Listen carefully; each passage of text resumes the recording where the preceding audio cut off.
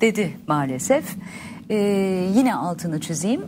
Şimdilik bir virgül koyuyoruz sayın seyirciler fikriniz söyle içerisinde bu önemli iki başlığa. İkinci dilimde kaldığımız yerden devam edeceğiz. E, bu kez e, Turgut Kazan'a bu konudaki fikrini söylemesini rica edeceğiz. Dönelim neden 29 Ekim'e? Şimdi e, tabii kitap e, yeni sayılır. E, açıkçası çok merak ediyorum. E, çok okundukça ve e, içeriğine dair çok daha fazla e, yorum ortaya çıktıkça nasıl tepkiler alacağınızı. Çünkü gerçekten söze girerken başka bir pencereden demiştim. E, ben öyle gördüm. Kendi adıma e, bilmediğim ve çok şaşırdığım şeyler de öğrendim e, yazdıklarınızdan. Şimdi neden 29 Ekim kısmından mı başlayayım Taha Bey? Önce bu e, soruya mı cevap vermek istersiniz yoksa şaşırdıklarımdan mı e, başlayayım? Şaşırdıklarınızdan başlayalım. Peki, peki. Evet. O zaman e, şimdi diyorsunuz ki kitabınızda öncelikle Atatürk başlangıçta Cumhuriyet fikrine karşıydı. Ve bunu da 15 Ocak 1923 Eskişehir konuşmasına dayandırmışsınız. E, hatta başka kısma, konuşmalar da var. E, e, e, İzmir konuşması var, İzmit konuşması hı. var, e, Bursa konuşması evet. var. Cumhuriyete karşı konuşmalar yaptığı bir dönem bu. Evet bir dönem var ama bu, bu bilgi belki hani izleyicilerimizin bir bölümünde vardır. Dediğim gibi hep böyle daha daha hamasi, daha başka bir perdeden hem Atatürk meselesi hem Cumhuriyet meselesini e, değerlendirdiğimiz için bu, bu açıkçası benim önüme çıkmamış. Bu, bu konuşmada e, diyor ki konuşmada e, Cumhuriyetle meşruti monarşi arasında fark olmadığını söyleyerek ikisine de karşı çıktı. Yürürlükteki meclis hükümeti sistemini savundu. Şimdi Cumhuriyet fikrinin çok öncesinde Atatürk'ün kafasında şekillendiği hatta işte savaş esnasında bile e, arkadaşlarıyla oturup Erzurum konuştuğu, Kongresi'nde söylüyor. Yani e, Erzurum Kongresi Temmuz e, 1919. Evet. E, orada e, yakın arkadaşlarından e, Masar e, Müfit e, Kansu'ya bunu diyor defterine yaz diyor. E, inşallah zafere ulaştığımız zaman Cumhuriyeti ilan edeceğiz, Latin harflerini getireceğiz diye evet, bu evet. şekilde Peki bu fikir, fikir değişimi nasıl yaşanıyor o zaman e, Atatürk'ten? Şimdi, Neden karşıydı ve sonrasında bu devrimlere varan Cumhuriyet fikrine, olgunluğuna nasıl gelindi? Karşıydı e, demek yerine e, bu konuşmaları, Cumhuriyete karşı konuşmaları yaptığı aşamada gücü, yetkiyi, e, meclisteki hakimiyeti elinde tutmak için Cumhuriyete karşı konuşması gerekiyordu. O bir taktikti. Hı. E, o zaman Cumhuriyet'in ilandan önce e, milli mücadele süresi boyunca e, Türkiye'de geçerli sistem meclis hükümet sistemi. Başbakanı meclis seçiyor. Bugün beni seçiyor, yarın sizi seçiyor. Çok istikrarsız bir şey. Bakanları da meclis seçiyor. Bugün beni seçiyor, bana kızıyor, ertesi gün sizi düşürüyor. Milli mücadelenin o çelikleşmiş e, milli birlik ve beraberliği içerisinde ve zafere odaklanmış irade e, birliği içerisinde bu sistem yürüdü. Ancak milli mücadele bittikten sonra gündeme gelen e, konu yeni Türkiye nasıl olacak? Padişahlık devam edecek mi? Hilafet devam edecek mi? Sadece bu değil. Cumhuriyet ise nasıl bir cumhuriyet? İşte kıyametin koptuğu yer bu üçüncüsü. Cumhuriyet ise e, nasıl bir e, cumhuriyet olacak? Mustafa Kemal Paşa meclis reisi olarak meclis yasama yetkisine sahip. Bunun başkanı Mustafa Kemal Paşa. Meclis yürütme yetkisine sahip. Bunun başkanı meclis reisi sıfatıyla Mustafa Kemal Paşa. Meclis yargı yetkisine de sahip. İstiklal mahkemeleri ve Adalet Bakanlığı Adalet Bakanlığı'nın bütün yargıçları tayin etmesi siyasi iradeyle meclis başkanı sıfatıyla Mustafa Kemal Paşa bu yetkilere sahip. İşte öyle olduğu bir dönemde bu sistem cumhuriyetten iyidir diyor.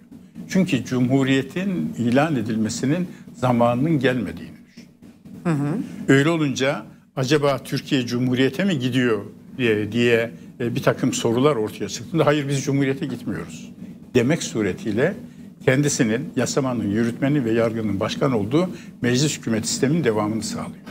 Hı hı. Ancak 1920 Ama Cumhuriyet fikri aslında Cumhuriyet var hali hazırda var. onda. Hatta Nutuk'ta e, ta gençlik yıllarından itibaren Cumhuriyeti benimsediğini e, anlatarak bunu milli bir sır olarak sakladım. İşte cumhuriyetçi olmasını, cumhuriyeti ileride ilan edecek olmasını bir milli sır halinde zihninde saklıyor. Peki. Amacında bu var. Bunu Ama neye şartlar, dayandırıyorsunuz? Efendim? Bunu neye dayandırıyorsunuz? Yani bu fikri o gün için saklı tuttuğunu ama aslında e, aklında bir gün şartlar olgunlaştığında Cumhuriyet fikri olduğu bilgisini neye dayandırıyorsunuz? Mesela paylaşımları var mı? Nutuk, Bunu nutuk, bilen biri var mı? Bizzat Nutuk'ta Atatürk'ün kendisi milli bir sır bu kavram onun. Milli bir sır olarak sakladım diyor. Sonradan kendisinin e, ta gençliğinden itibaren e, Fahri Rıfkı Atay'a yakın çevresine e, anlattığı hatıralarda görülüyor. Da baştan itibaren e, Cumhuriyeti e, düşünüyor. E, ama Samsun'a çıktığında ben Cumhuriyeti ilan edeceğim diyemezdi. Samsun'a çıktığında e, esir padişahı ve halifeyi kurtaracağız diye yola çıkıyor. Hatta Erzurum'da yani Temmuz e, 1919'da Masar Müfit'e e, söylediği sözler var. Masar Müfit diyor ki e, paşam diyor bir hoca efendi gibi, müftü efendi gibi konuştunuz. Hı hı. Çünkü ayetlerle, hadislerle konuşuyor Mustafa Kemal Paşa. E, Mustafa Kemal Paşa'nın verdiği cevap. Bunların hepsi tarihin belgelerinde evet. mevcut. Diyor ki şu anda e, işimiz padişahı ve halifeyi kurtaracağız diyerek halkı milli dava etrafında toplamak. Hiçbir şeye zamanı gelmeden önce teşebbüs etmemek, zamanı geldiğinde de fırsatı kaçırmamak. İşte burada karşımıza bir kurmay deha görülüyor. Tıpkı bir meydan muharebesini yönetir gibi bir meydan muharebesine mesela Sakarya Savaşı'na büyük taarruza hazırlanır gibi siyasetteki yönetimini de bir kurmay olarak yönetiyor. İsmet Paşa'nın çok doğru bir sözü var. Diyor ki Mustafa Kemal'in üstün tarafı askeri tarafı değil, siyasi tarafıdır. Onun siyasi kudreti askeri kudretinden üstündür. Kelimesi kelimesine böyle. Hakikaten de milli mücadeleye baktığınızda askeri strateji ve taktikler konusunda Mustafa Kemal Paşa ile Fevzi Paşa arasında bir itlaf yok. Kazım Karabekir arasında bir itlaf yok. İsmet Paşa arasında bir itlaf yok. Ama siyasete gelip de Türkiye nasıl olacak deyince yollar ayrılıyor. İşte o yol ayrımında şartlar olgunlaşınca Eylül e, 1923'te yarınki Türkiye Cumhuriyet olacak diye bir Avusturya gazetesinin açıklama yapıyor.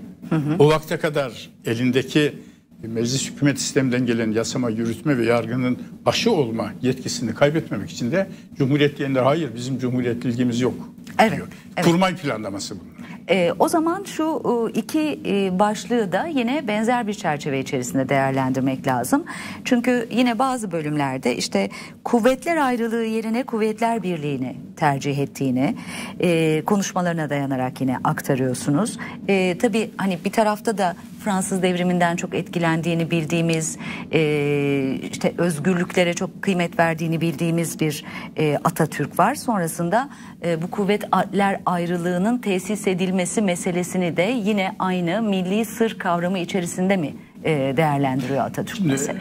Mustafa Kemal Paşa'nın fikri kaynaklarına e, baktığımızda e, Fransız ihtilalinden çok etkilendiğini, mesela İngiliz ihtilalinden, kuvvetler ayrılığı fikrini geliştiren e, bu muhteşem devrim dedikleri İngiliz ihtilalinden hiç etkilenmediğini, e, kuvvetler ayrılığını savunan John Locke e, gibi, e, Montesquieu gibi düşünürlerden etkilenmediğini, sevmediğini, okuduğunda onlara önem vermediğini görüyoruz. Bu okuduğu kitaplarda e, kitapların kenarına koyduğu notlardan belli.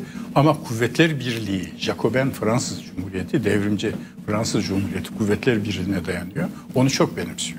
Kuvvetler Birliği fikrinin baş teorisyeni olan Jean-Jacques Rousseau'nun tartışılmaz, bölünmez, tek milli irade tanımı. Bunu Mustafa Kemal Paşa e, çok benimsiyor. Baştan itibaren Mustafa Kemal Paşa vefat ettiği 10 Kasım saat 9'u 5 geçeye kadar daima Kuvvetler Birliği'ni savundu. Evet. Kuvvetler ayrılığını şiddetle reddetti.